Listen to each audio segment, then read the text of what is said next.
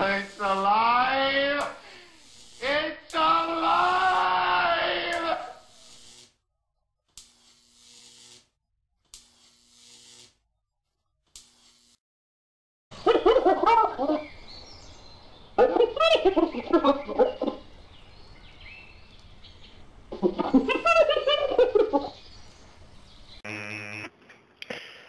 Hello, I'm Artifacts of Mars. And this is getting mainstream news coverage. It's from UPI and Live Science is also carrying this same article. Scientists have observed dominance among populations of a rather infamous ant species, Lepidopsiota canescens. Okay, that's not going to happen, but, uh, anyway. Species has been organized in super colonies in the ancient for church forests of Ethiopia. Only 20 species are known to form super colonies. Super colonies can include millions of nests and billions of worker ants. Evidence of I'm not to do it. LC, what super colonies was discovered in forests owned by the Ethiopian Orthodox Tewahedo Church, one of only a few pre-colonial Christian denominations in Africa. Forests of varying size surround most Orthodox churches in Ethiopia. Majority of forests are isolated an oasis of habitat surrounded by cleared fields and agricultural land. Though not all super colonies are perceived as a threat to biodiversity and assign a degraded habitat, they can invade homes and other structures as well as damage crops and can cover thousands of miles. Scientifically, a super colony described is described as having no natural limits to its expanse.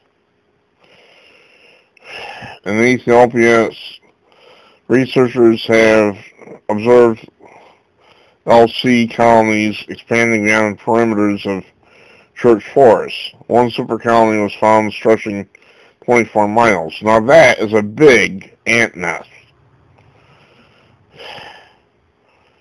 A new paper in their discovery published this week in the journal Insects. That's not going to happen. It's apparently French or something. Uh, that's not going to happen. At any rate, scientists warn the newly dominant ant is a global threat. Species we found in Ethiopia may have high potential becoming globally invasive species. D. Magdalena Sorger, a postdoctoral researcher with North Carolina Museum of Natural Sciences warned in a news release.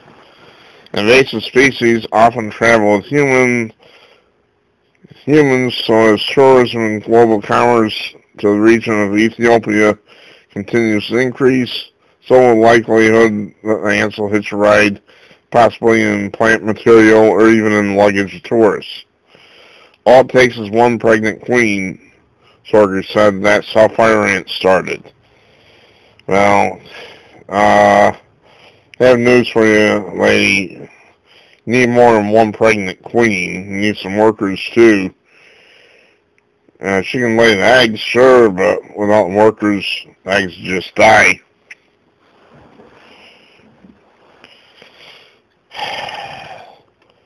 These people are actually freaking out about this. I guess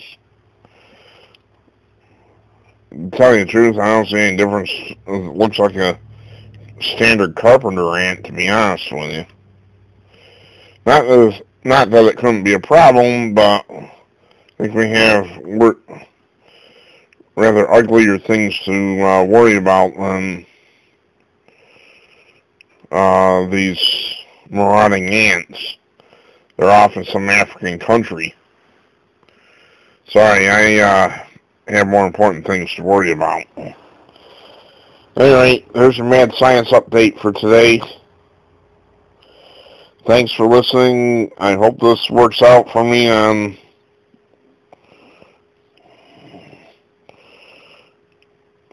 uh, the recording.